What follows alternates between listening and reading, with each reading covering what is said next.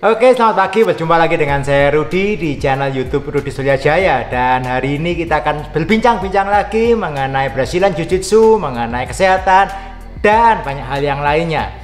Dan seperti yang kita ketahui teman-teman, minggu ini kita sementara tidak membuka kelas Brazilian Jiu-Jitsu. Why? Karena ya kalau Anda baca berita, Anda lihat uh, di TV dan di mana-mana memang lagi ada peningkatan yang drastis untuk kasus-kasus COVID, terutama di tempat saya juga di Surabaya sedang sangat tinggi-tingginya dan di kota-kota lainnya juga sangat banyak kasusnya. Di luar apa pun itu, kasus itu adalah penyakit ini penyakit yang real, virus ini real, jadi kita harus jaga kesehatan. Memang kita akan mengurangi aktivitas yang bertemu orang banyak, tetapi tidak berarti kita harus berhenti beraktivitas Bukan berarti kita tidak boleh berolahraga, justru kita perlu melakukan latihan-latihan fisik yang ini bisa kita lakukan sendiri di rumah. Tujuannya apa? Supaya badan kita tetap fit, badan kita tetap uh, aktif dan kita tetap punya daya tahan tubuh yang bagus untuk melawan penyakit tadi. Oke. Dan karena saya nggak ada Brazilian Jiu-Jitsu, ya akhirnya saya kembali ke teman lama saya. Hari ini saya kembali berlatih dengan yang namanya apa? Kettlebell. Oke, saya punya kettlebell ini sudah lama, jadi saya punya beberapa ukuran. Jadi ada lagi, sebenarnya ada satu lagi dipinjam teman saya masih ada. Dan kettlebell itu mungkin ada ada yang sudah tahu, ada yang belum tahu. Kalau anda yang belum tahu bentuknya seperti ini teman-teman. Jadi bentuknya seperti apa ini istilahnya kayak kunci gembok model kuno gini, ya jadi ini bentuknya seperti ini kita pakai untuk latihan beban. Tetapi cara penggunaannya ini berbeda dengan kalau kita menggunakan dumbbell atau menggunakan barbell. Saya yakin teman-teman banyak yang sudah familiar dengan menggunakan dumbbell ataupun dengan yang menggunakan barbell yang Anda yang fitness dan sebagainya, crossfit. Saya rasa Anda tidak asing dengan menggunakan barbell ataupun dumbbell. Tetapi Kenapa saya memilih kettlebell? Ya, yang pertama saya tidak punya cukup uh, tempat untuk saya latihan dumbbell. Dumbbell harus banyak dumbbellnya, barbell juga butuh tempat yang cukup gede. Kalau saya mau latihan, saya butuh tempat yang cukup gede untuk barbell. Jadi saya nggak punya tempatnya. Kebetulan saya memilih untuk menggunakan kettlebell. Dan kettlebell untuk kita yang berlatih Brazilian Jiu-Jitsu itu punya sedikit kelebihan sebetulnya. Kenapa? Karena menggunakan barbell. Ini menurut, menurut saya ya. Saya uh, dulu pernah jadi pelatih fitness tapi bukan yang sampai gimana sekali. Tapi dari pengalaman saya kalau Anda berlatih fitness, Anda berlatih dengan barbell, itu gerakannya semuanya akan simetri. Kiri dan kanan itu mengangkat satu beban tension yang simetri. Kalau Anda bench press misalkan, anda bebannya tidak mungkin Anda bench press bebannya yang kanan 10 yang kiri 5 tidak mungkin terjadi. Pasti cedera nanti. Jadi eh, otot kita digerakkan secara simetri kiri dan kanan. Nah, dengan kettlebell pada umumnya bukan berarti single ya. Kettlebell itu pada umumnya kita melakukan latihan itu selalu single. Jadi satu gerakan kita pakai satu beban, satu beban di tangan seperti ini. Oke, jadi kita pilih di tangan kiri, atau pilih, pilih beban di tangan kanan seperti ini. Nah, kita mau e, melatih itu satu-satu. Jadi kalau saya melatih otot yang di sebelah kiri saya pakai kettlebell, otomatis otot tubuh saya yang sebelah kanan itu bergerak untuk apa? Tetap akan berkontraksi menyeimbangkan. Which itu menurut saya lebih mirip dengan gerakan-gerakan yang ada di Brazilian Brazilian Jiu-Jitsu jarang kita lakukan gerakan yang kiri dan kanan sama. No, mostly adalah satu kiri, kita selimping ke kiri, selimping ke kanan, dan sebagainya. Dan banyak gerakan lain membutuhkan kinerja otot yang asimetris. Oke, okay? ataupun juga Anda tinju misalkan. Gerakannya salah satu. Kalau yang kiri jab, yang kanan masa Anda mau jab sesuai kiri kanan bareng-bareng? Enggak, enggak pasti satu-satu. Jadi waktu Anda melakukan power dengan satu gerak satu sisi, sisi yang lainnya akan ikut bergerak untuk menyeimbangkan. Dan ini yang tidak kita dapatkan kalau kita latihan pakai barbel menurut saya. Oke. Apa aja gerakan-gerakan yang bisa dilakukan dengan menggunakan kettlebell? Ada banyak gerakannya, tetapi yang saya sering saya lakukan ada beberapa. Ini akan saya sharekan di sini. Jadi saya bukan tutorial saya ngajarin anda ya enggak ya. Ada banyak tutorial yang lebih jelas lebih clear cara mengajarkannya tapi akan saya tunjukkan apa yang saya pakai selama ini yang menurut saya itu works untuk di Brazilian Jiu-Jitsu. Oke? Yuk kita lihat.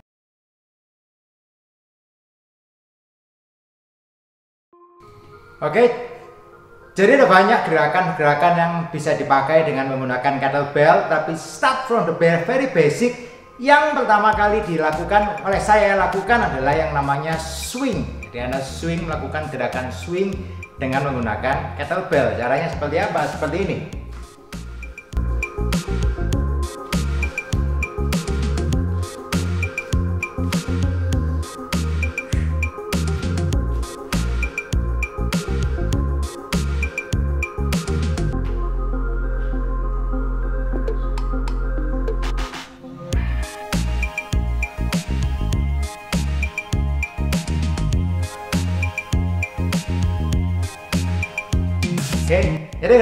Seperti itu bisa dilakukan dengan menggunakan kettlebell. Jadi Anda melakukan swing dengan menggunakan kettlebell tadi dan Anda boleh percaya boleh tidak. Gerakan itu nampaknya biasa-biasa saja, tapi Anda lakukan itu repetisi 20 30 repetisi tak saya jamin napas Anda pasti huh huh huh. Eh, kenapa? Karena ini gerakan ini menggerakkan seluruh tubuh, berbeda dengan saat kita berlatih dengan menggunakan uh, barbell dumbbell yang mungkin Anda hanya melakukan 10 repetisi. Ini Anda bisa melakukan secara repetitif. Jadi bebannya menyesuaikan, tapi Anda bisa menggunakan satu repetisi yang cukup banyak, let's say 20 atau mungkin lebih. Jadi yang dihitung adalah secara volume.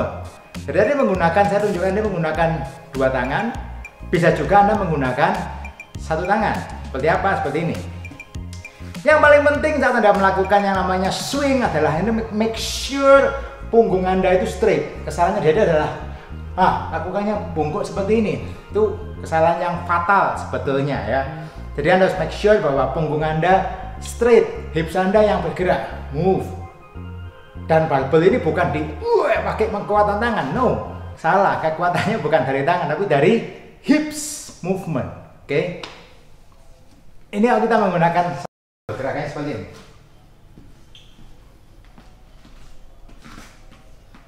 Kita akan menggunakan satu dumbbell.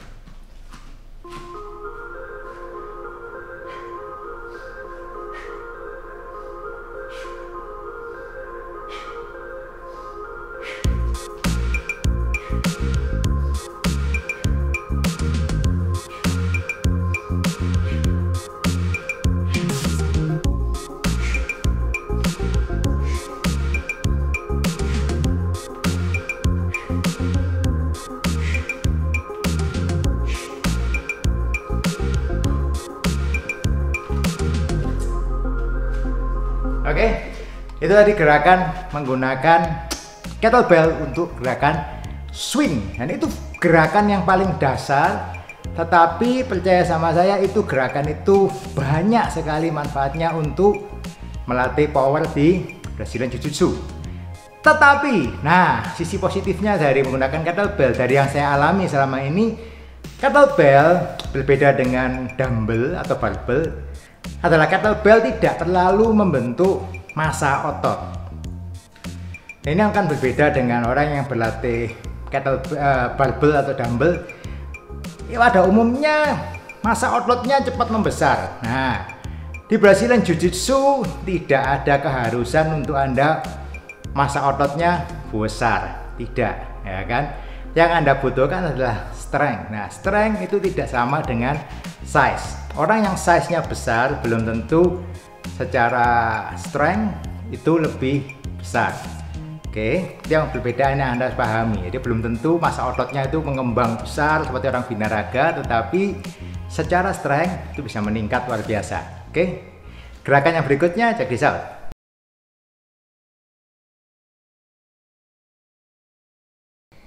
Hal kedua yang bisa dilakukan dengan kettlebell adalah satu gerakan yang namanya adalah clean.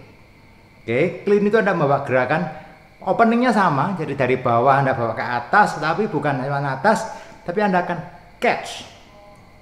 Anda catch di dada Anda sebelah sini, oke. Naik, and the catch. Seperti apa gerakannya? Check this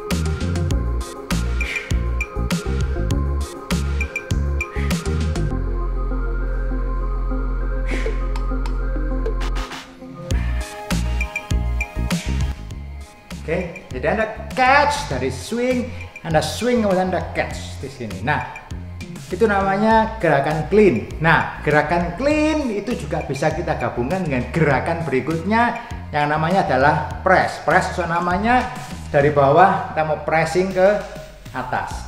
Kita lakukan terpisah dulu. Biasanya saya lakukan adalah saya gabungkan. Jadi dari sini up, kemudian saya press. Seperti apa? Seperti ini.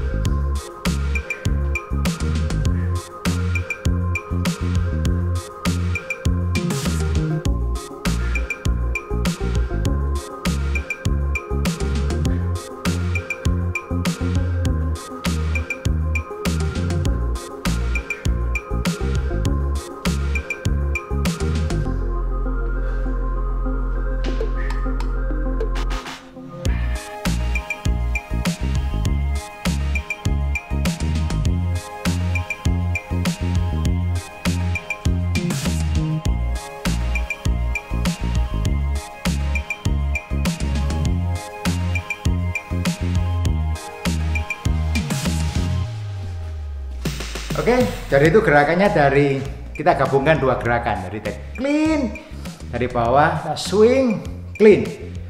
Catch di sini baru press.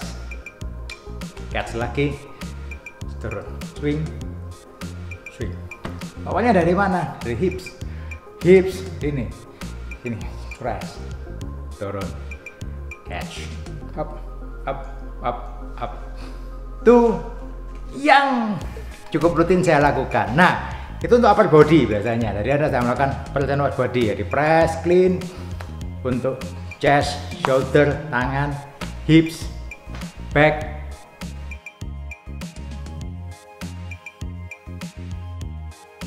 Satu lagi adalah untuk kaki. Untuk kaki apa? Well, basic, the best untuk kaki tetap squat is the best. Tapi ada beberapa posisi squat dengan menggunakan kettlebell. Seperti apa? Kita lihat satu persatu.